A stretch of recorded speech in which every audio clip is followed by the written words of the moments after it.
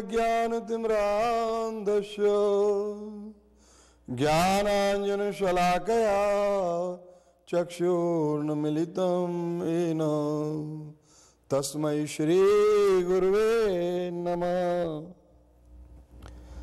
श्रीचैतन्यमनोभीष्टं स्थापितमेन भूतले।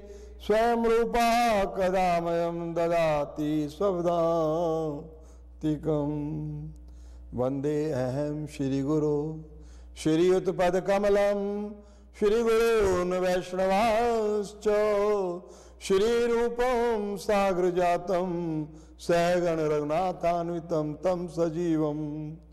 साद्वैतं सावधूतं परिजनसहितं श्रीराधाकृष्ण पादान् सहगण ललिता, श्री विशाखान्वितांश्च।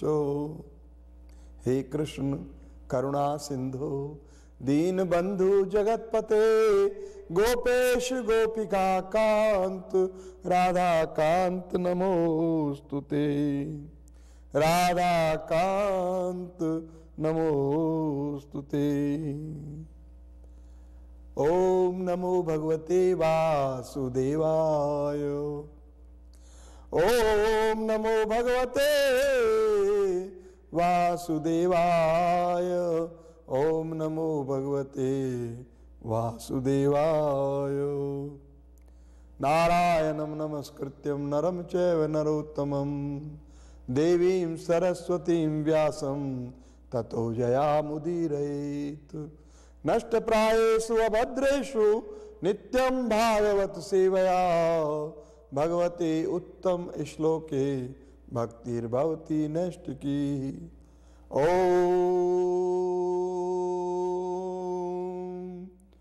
शांति शांति शांति।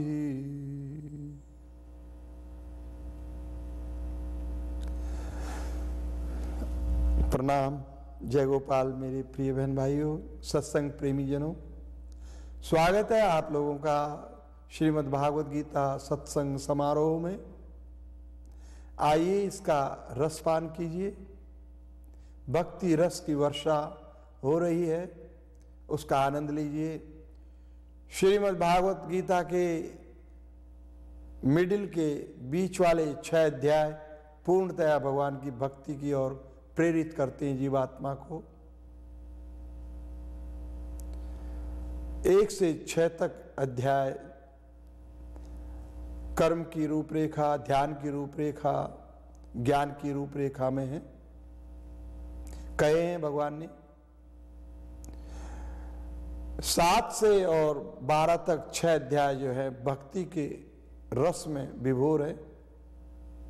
कहिए कि भक्ति रस की बारिश हो रही है इन अध्यायों में।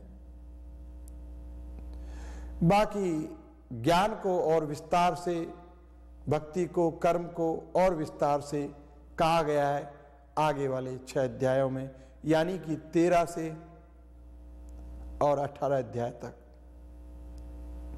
इसलिए जो बीच का धड़, जो छह अध्यायों का धड़ स्वरूप है, ये भागवत गीता का धड़ कहलाया है। और अगल बगल के दोनों पंख हैं। ये दोनों पंखों से भागवत गीता ज्ञान को लेकर उड़ती है पूरे ब्रह्मांड में। सबको लाभान्वित करती है। गीता का सत्संग महासत्संग है जीवात्मा के कल्याण के लिए। तो आइए, आज के सत्संग में हम प्रारंभ करते हैं। पिछले सत्संग की कड़ी से आज की कड़ी को जोड़ते हुए। श्रीमद् भागवत गीता अध्याय नौ है और श्लोक संख्या तीस, इकतीस, बत्तीस है। भगवान ने इन श्लोकों में कहा है कि कोई दुराचारी आदमी भी हो, दुराचरण करने वाला पापिष्ट हो, सदना कसाई जैसा भी, वह भी भगवान की शरण लेकर के पवित्र हो जाता है और भगवान के धाम को प्राप्त कर लेता है। फिर भगवान ने कहा है कि क्षिप्रम भवती धर्मात्मा शश्वत शांति निगछति कौन ते प्रतिजानी न में भक्त प्रणश्यति। हे कौनते एक दुराचारी व्यक्ति भी मेरी शरण लेकर के शीघ्र ही धर्मात्मा हो जाता है। तो ये दो वस्तु यहाँ पर है, एक तो धर्मात्मा है, एक दुरात्मा है। दुरात्मा है जिसकी भावना गंदी है। तो गंदी भावना बुरे कर्म करती है। बुरा व्यवहार करती है। तो उसको दुरात्मा कहा है और धर्मात्मा है जिसकी भावना शुद्ध है, पवित्र है। तो धर्मात्मा मिलना मिलना बड़ा कठिन है। धर्म आत्मा उसी को कहा है जिसकी जिसकी भावना पवित्र हो। यह आत्मा सच्चिदानंद स्वरूप है।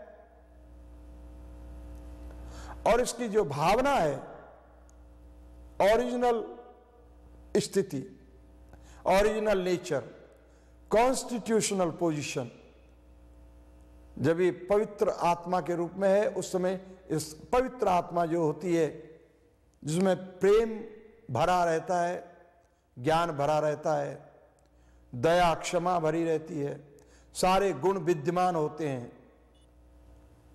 वो धर्म धर्म का मतलब ही स्वभाव से है। वो ओरिजिनल स्वभाव। आपका मूल स्वभाव। तो मूल नेचर मूल प्रकृति। तो आपकी मूल प्रकृति क्या है? प्रेम स्वरूपा है, ज्ञान स्वरूपा है, क्षमा स्वरूपा है, सत्य स्वरूपा है। तो जो आत्मा के साथ में ये पवित्र भावना होती है तो इसको धर्मात्मा कहा है और जब इसी आत्मा के साथ में गंदी मलिन भावना होती है तो इसको दुरात्मा कहा है क्षिप्रम यानी शीघ्र ही ऐसा दुराचारी व्यक्ति जो मेरी शरण लेता है मुझे भसता है वाल्मीकि जी की तरह मरा मरा राम राम राम राम राम राम राम राम या सदना कसाई की तरह। भक्ता है, क्षिप्रम भवती धर्मात्मा। वो शीघ्र ही धर्मात्मा हो जाता है। ब्रह्म स्वरूप हो जाता है। शीघ्र शीघ्र ही जो परमेश्वर की शरण में रह के उस भगवान को बसता है, उनकी सेवा करता है, उनका भजन करता है, उनके लिए नाचता गाता है, उनके, उनको रिझाता है, उनको रिझाने के लिए कर्म करता है सत्कर्म करता है। दान करता है, यज्ञ करता है, उनका फल भगवान को अर्पण करता है, सत्य को अर्पण करता है। क्षिप्रम भवती धर्मात्मा, शाश्वत शांति में निगछति तो ऐसे व्यक्ति को शाश्वत शांति की प्राप्ति हो जाती है। इटर्नल पीस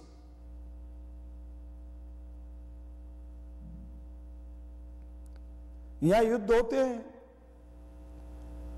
तो हल्ला मच जाता है, लोग भयभीत हो जाते हैं। जब युद्ध बंद हो जाता है एक दो देशों का तो बोलते शांति हो गई। ये शांति कितने दिन होगी? ये शांति की वैल्यू क्या है? और ये शांति भी क्या खाक शांति है? इस शांति में फिर प्रिपरेशन कर रहे हैं अगले युद्ध की, अगले देश के साथ। तो ये शांति भी शांति नहीं है ये तो तैयारियाँ हैं अगले युद्ध की। जो भगवान कह रहे हैं ये, ये शांति शाश्वत शांति है इटरनल शांति सनातन शांति। और सनातन शान सनातन शांति तो भगवान के धाम में ही मिलती है वैकुंठ में मिलती है। ये भौतिक संसार में नहीं इसलिए भगवान ने कहा है कि क्षिप्रम भवती धर्मात्मा शाश्वत शांति निगछति कौन ते? प्रतिजानी न में भक्त प्रणश्यति। हे कुंती नंदन, तू घोषणा कर दे कि मेरे भक्त का कभी नाश नहीं होता।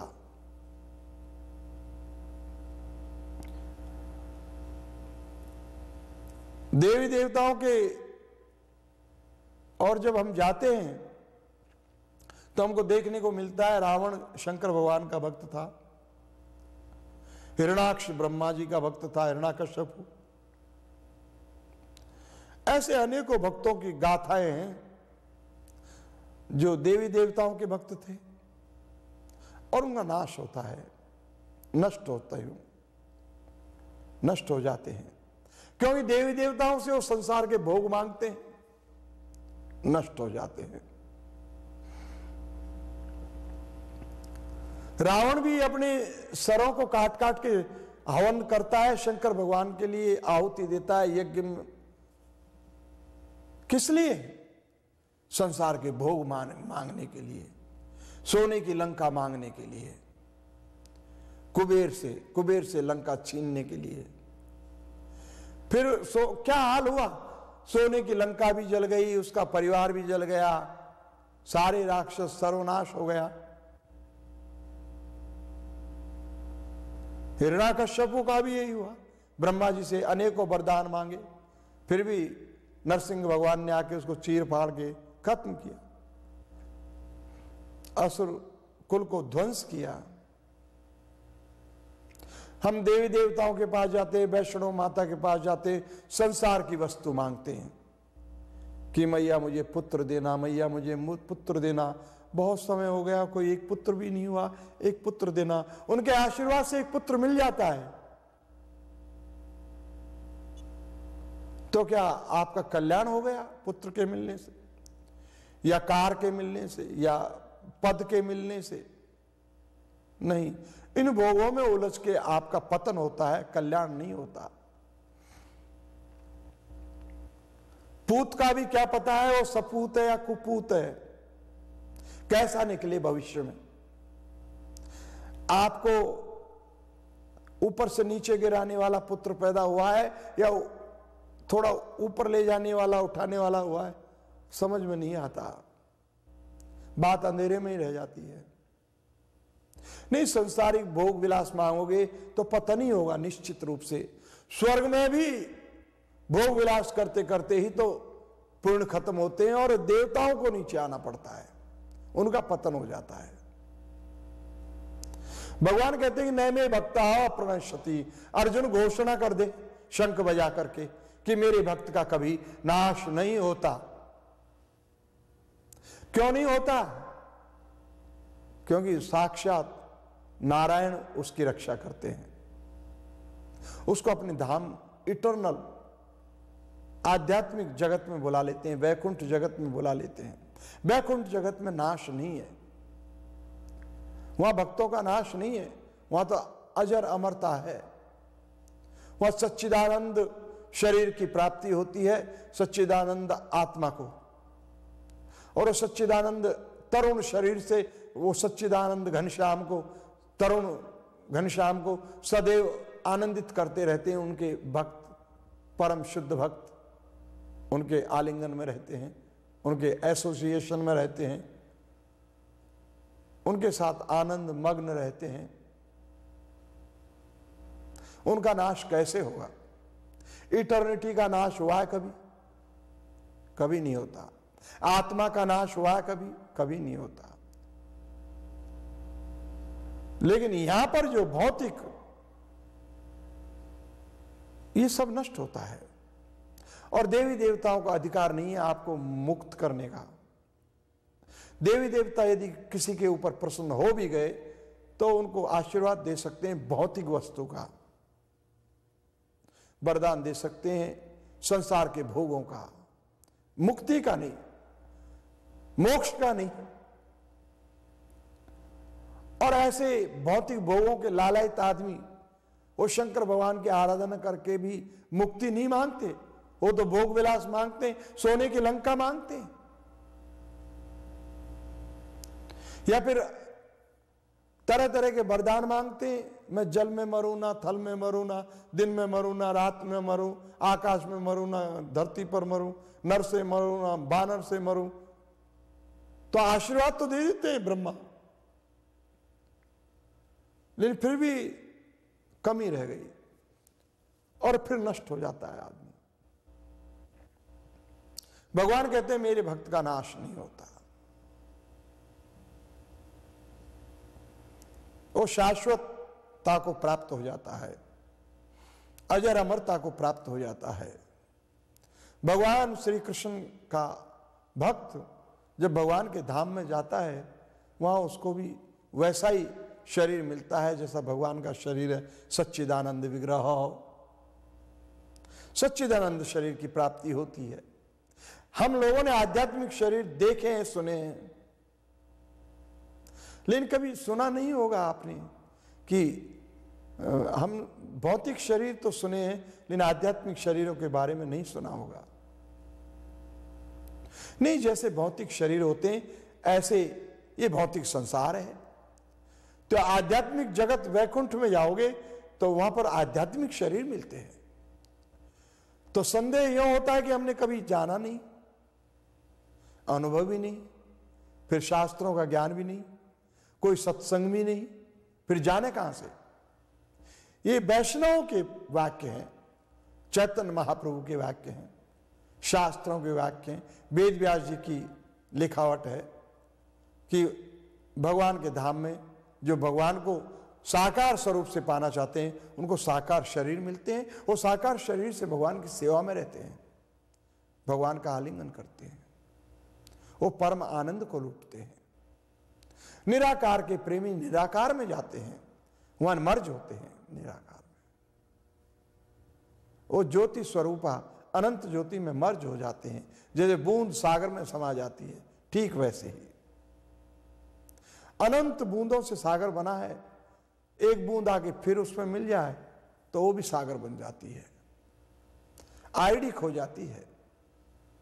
परिचय खो जाता है। एक जैसी ब्रह्म ज्योति दिखाई देती है। ब्रह्म ज्योति में अनंत आत्माएँ हैं। संदेह नहीं। लेकिन लगेगा एक ज्योति, एक प्रकाश। करोड़ों, लाखों सूर्य एक साथ उदय हो गए हों। ऐसे प्रकाश। ब्रह्म ज्योति आध्यात्मिक प्रकाश। वो भी ईश्वर का एक रूप है। ये ब्रह्मांड भी भगवान का एक विराट स्वरूप है। वह आध्यात्मिक स्वरूप है। लेकिन भगवान का साकार स्वरूप ब्रह्म ज्योति से परे है। इसलिए तो कृष्ण कहते हैं कि ब्रह्मणों ही प्रतिष्ठा अहम। ये ब्रह्म ज्योति का बेस आधार भी मैं हूँ। प्रतिष्ठा यानी आधार। ब्रह्मणो ही प्रतिष्ठा अहम अमृत व्ययश शाश्वत च, धर्मस्य सुखश्चय कांतिक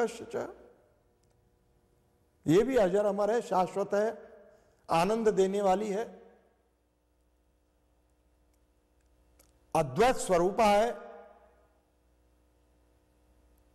धर्म स्वरूपा है। ओरिजिनल नेचर है। स्पिरिचुअल नेचर है। धर्म स्वरूप है। शाश्वतम चय धर्मश्य सुखश्चय कांतिक और सुख देने वाली आनंद देने वाली है। ब्रह्मणो ही प्रतिष्ठा हम अमृत अमृत स्वरूपा है। अव्यय स्वरूपा है। क्षय नहीं होती, राश नहीं होता ब्रह्म ज्योति का। लेकिन मेरा साकार स्वरूप ये भी मेरा स्वरूप है। भगवान ने विराट स्वरूप दिखलाया अर्जुन को, कहा, अर्जुन, ये मेरा विराट स्वरूप है। ये सारा भौतिक। लेकिन भगवान कहते हैं कि ब्रह्म ज्योति भी मेरा स्वरूप है, वो आध्यात्मिक स्वरूप है। स्पिरिचुअल नेचर है मेरी। लेकिन मैं उसका वेश हूँ, बेस हूँ, आधार हूँ। ब्रह्मणों ही प्रतिष्ठा अहम।